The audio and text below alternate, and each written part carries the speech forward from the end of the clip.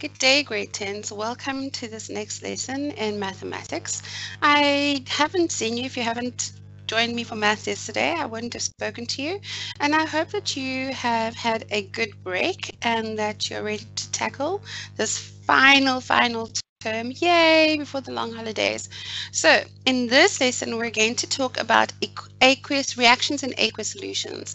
So um, basically, it's a continuation of what we were talking about last in the last lesson, um, which was last term. So um, I've actually revised a little bit.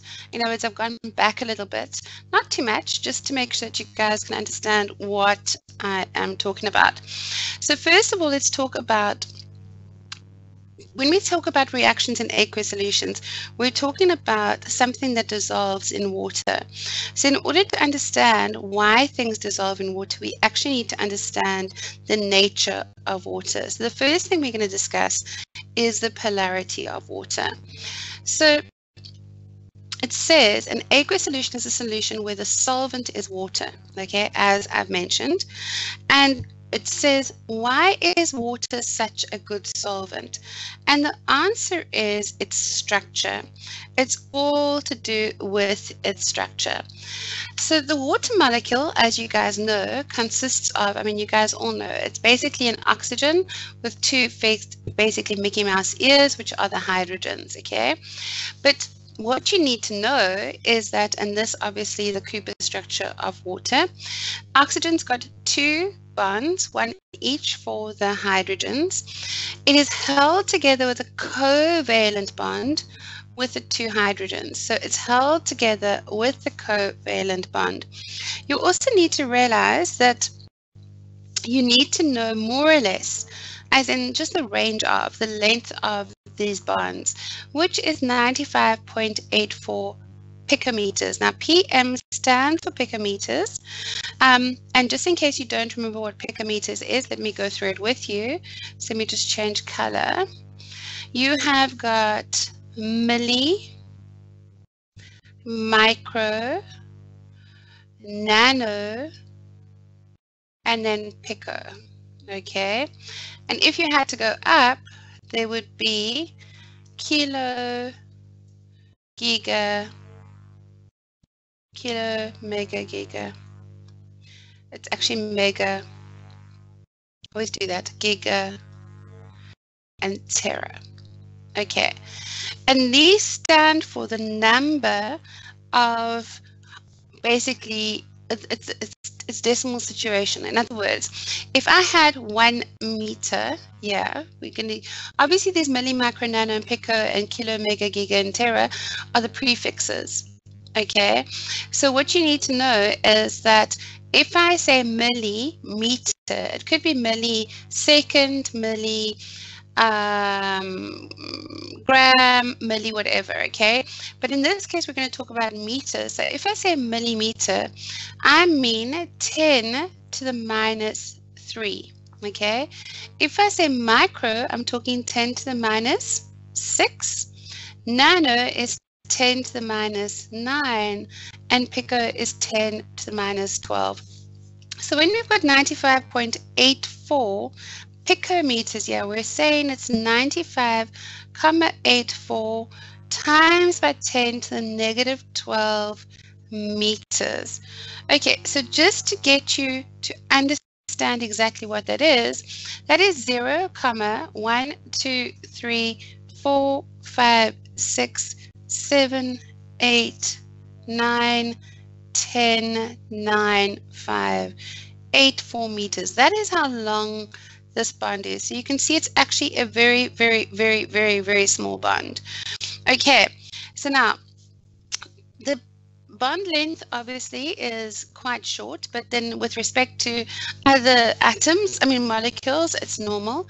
And you can see here that the angle between the two hydrogens is 104.45 degrees. And that is caused by your unshared pairs of electrons.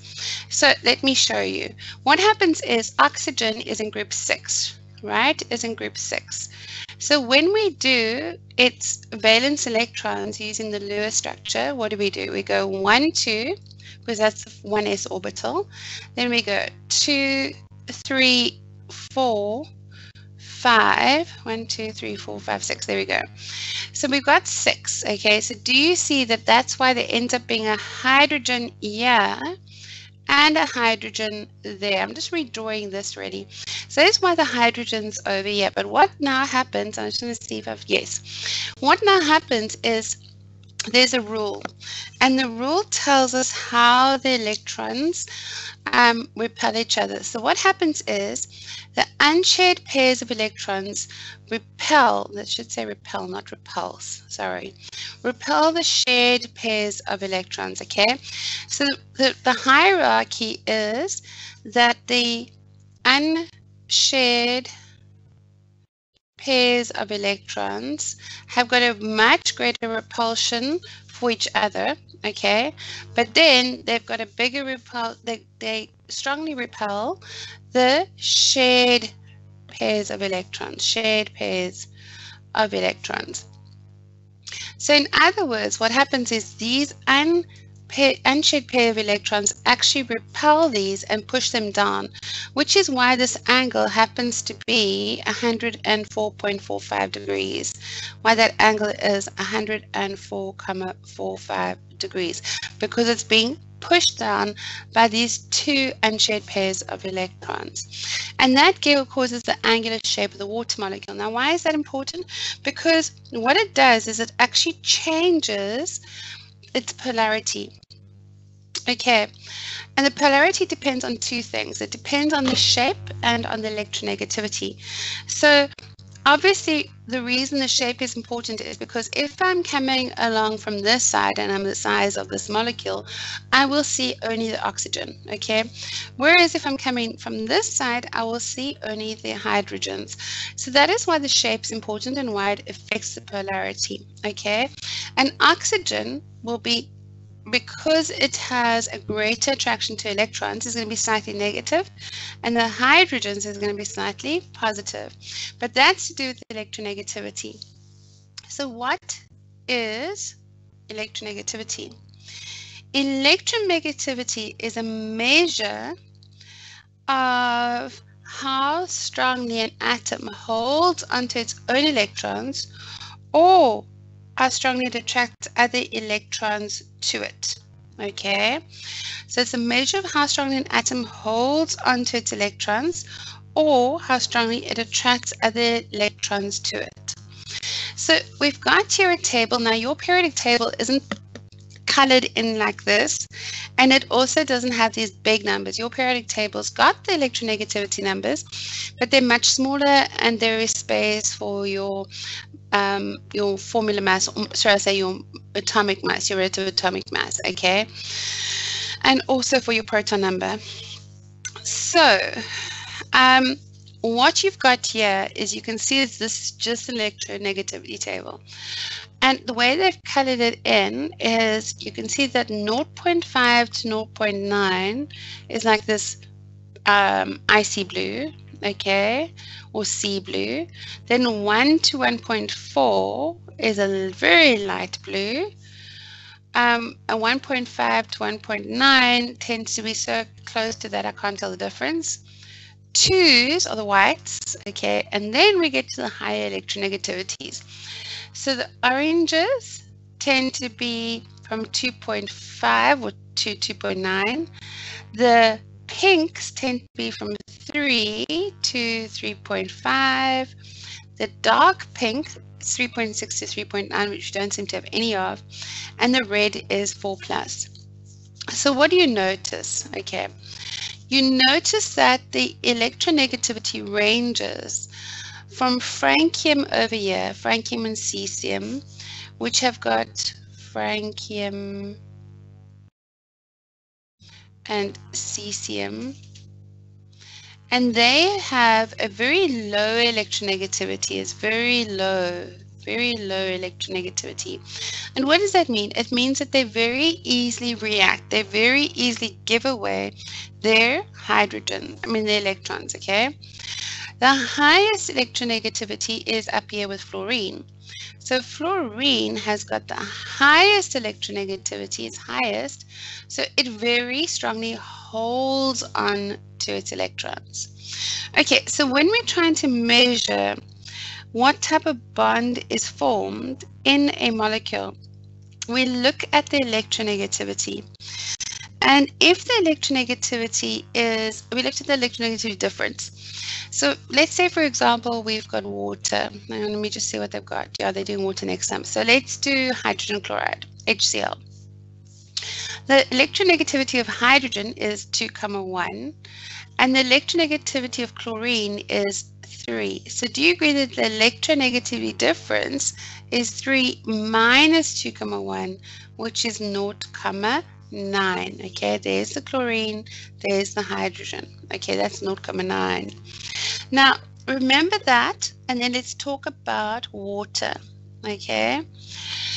So if we look at water's electronegativity, we've got hydrogen at 2.1 and we've got oxygen at 3.5. Okay, so which of these has got the greater electronegativity? Do you agree that oxygen has got the greater electronegativity? It is sitting at 3.5 compared to hydrogen's 2.1.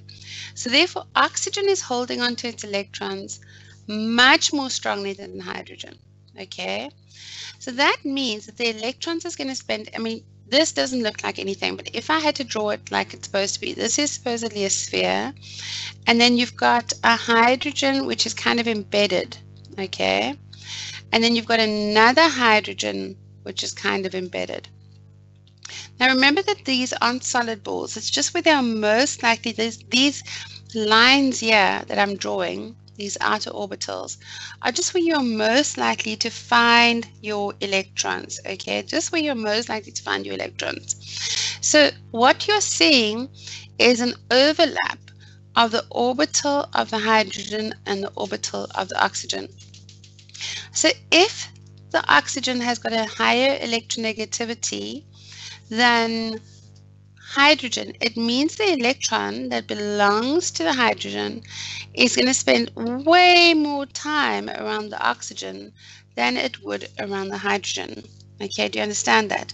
So what we are saying is that the higher the electronegativity, the more strongly that atom is holding on to the electrons, which mean that those electrons, oh, those electrons um, are basically spending more time around the oxygen atom than they are around the hydrogen atom, which means that at any point in time, we'll see this is slightly negative and this is slightly positive.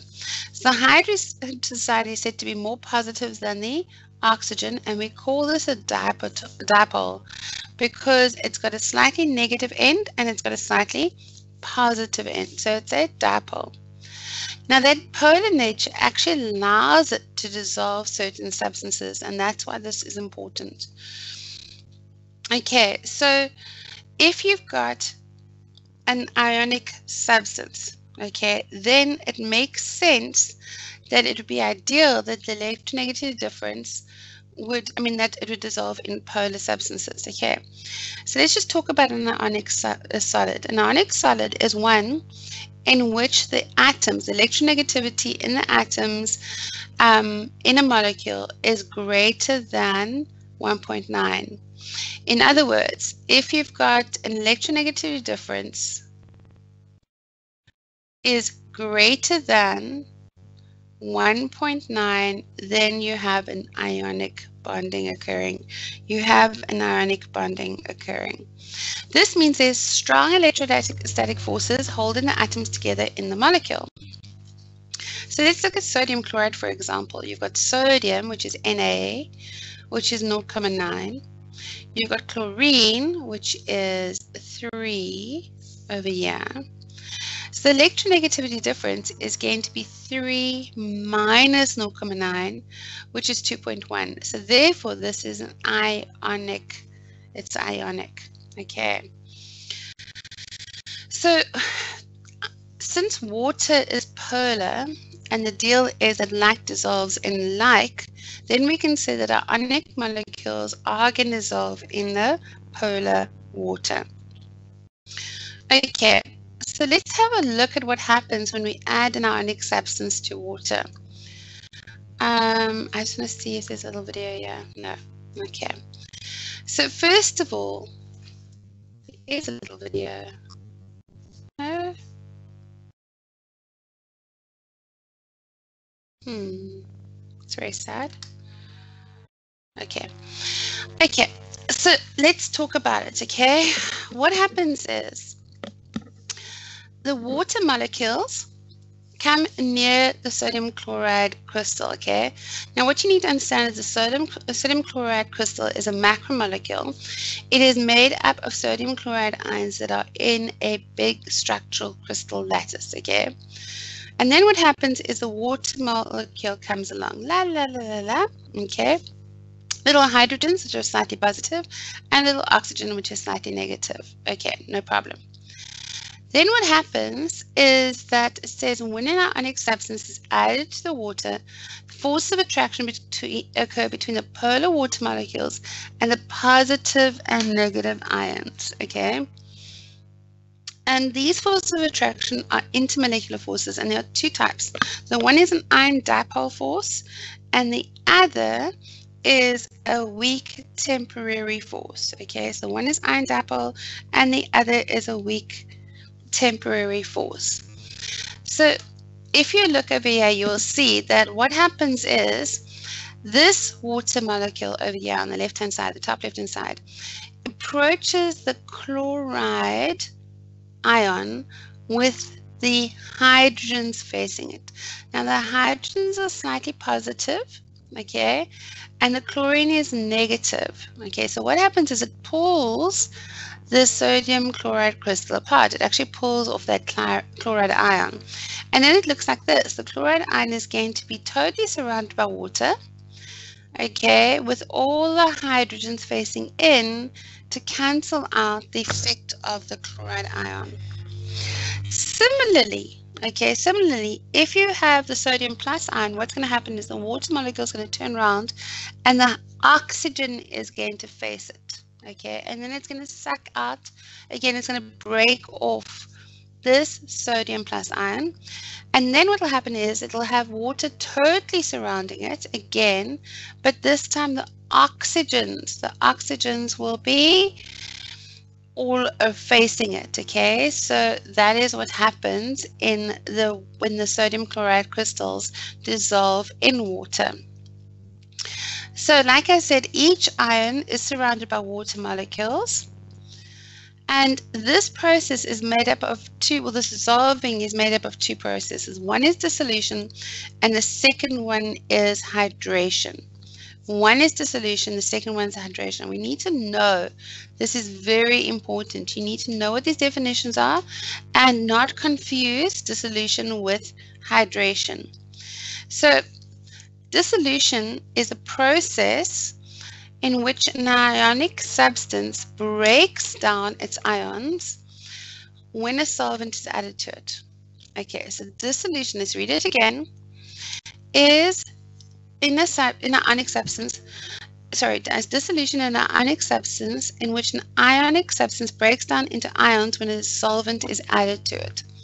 So dissolution is basically when the sodium chloride crystal broke up into the sodium plus ions and the chloride minus ions. Process in which cations and anions become surrounded by the water molecules in the aqueous solution, that bit there was hydration. Okay, so when we got surrounded like this, when the chloride ions got totally surrounded by the water, or when the sodium plus ions got totally surrounded by the water, that there was called hydration. Right, now you guys need to know the equation for this. It's very important. And you need to be able to answer using both the word equation and the formula equation.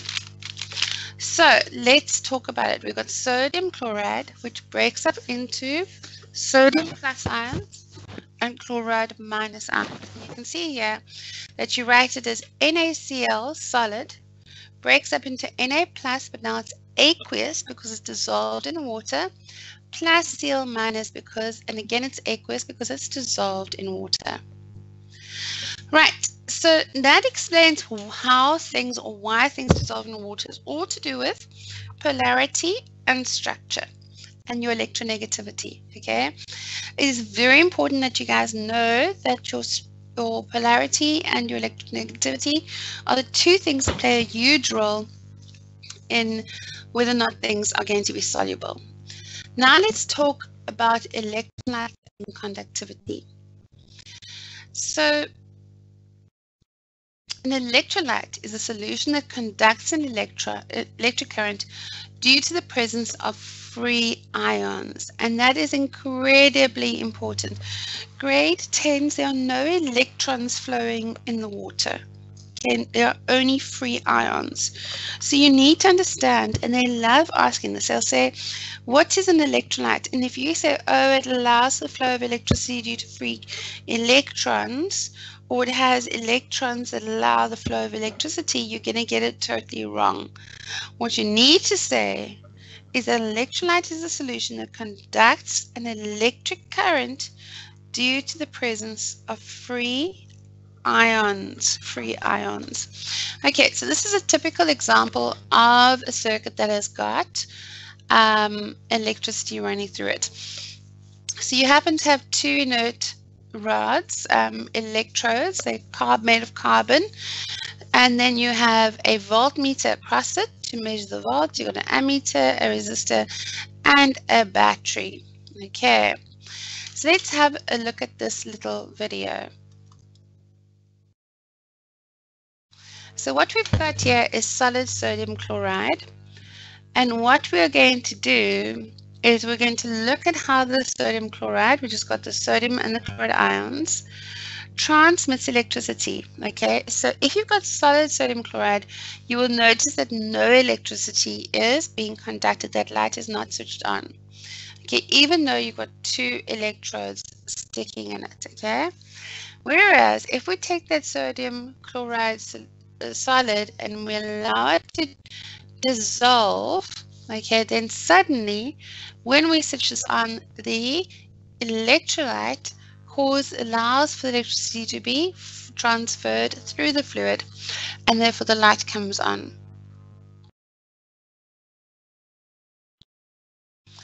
Okay, so what I want to do is I just want to go through that again. When you've got sodium, solid sodium chloride, there are no free ions. Everything is in that nice giant crystal lattice and there are no free ions. Please notice. Okay, so even though we've got two electrodes and we've got a little light bulb and we switch it on, there'll be no transfer of electricity and therefore the light bulb will stay off. Okay, but if we get a container of water and we dissolve the sodium chloride in, then it breaks up to form sodium plus ions and chloride minus ions, okay? Then what happens is the electricity will be transferred. So you have to have free ions to allow for the transfer of electricity. Okay, so there you go. You have to have free ions. Now let's talk about conductivity. Conductivity is a measure of how well electricity is conducted. Okay. And then we're talking not about wires now. Remember, we're talking about electrolytes. We're talking about how well electricity travels through a liquid. So obviously it makes sense that first of all the type of substance, we know this, okay?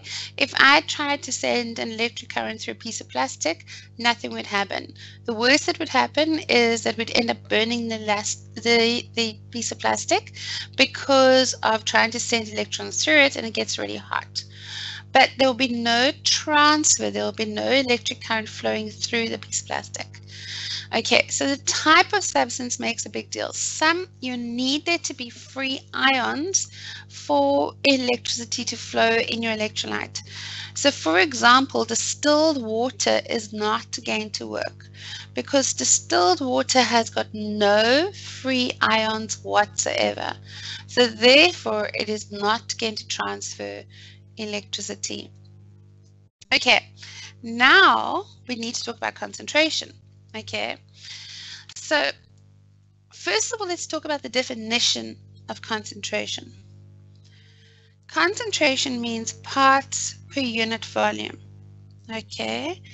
In other words, it's a measure of how many atoms or molecules we're dissolving in a specific amount of water. Okay. So if you look at these two containers and we assume that the little yellow dots are ions that we're dissolving in water, let's just count them. Let's just see what we got here.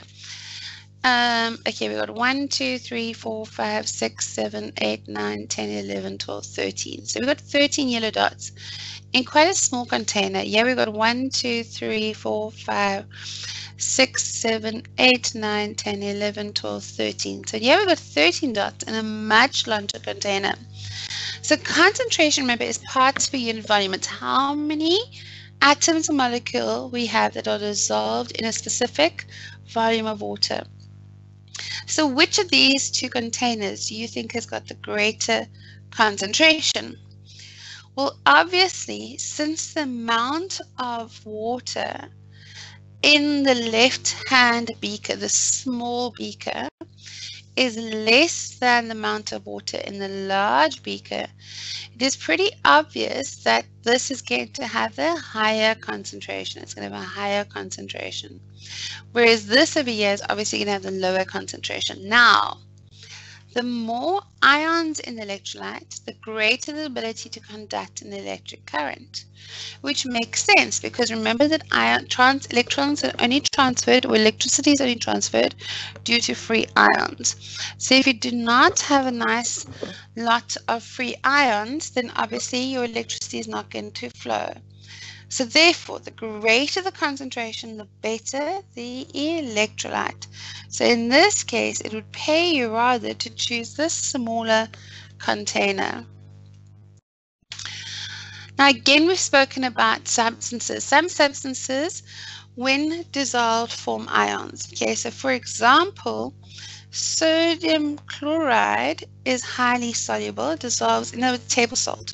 Remember that sodium chloride is just table salt. So what we're doing, we're saying it's very soluble in water. Okay, very soluble. It forms nice ions. So therefore, um, it, because it's got these nice concentration or high concentration of ions, it conducts electricity well. Sugar is also very soluble in water. You guys know this. If you've ever um, had the situation, you must have at least once in your life had a situation where um, you're having a bit of a bad day or whatever, and your parent or somebody says, Yeah, have some sugar water for the shock or for whatever it is. And all they've done is dissolve sugar in water. Now, sugar is soluble in water, no problem there, but it does not form ions. Sugar does not form ions. And because it does not form ions, it does not conduct electricity. So therefore, solubility is not a good measure of conductivity. In other words, something can be soluble and not conduct electricity. It has to form ions. Okay. Right, and that's it for today. We will continue with this on, what's today? Today is Tuesday. We'll continue with this on Thursday. Have a great day.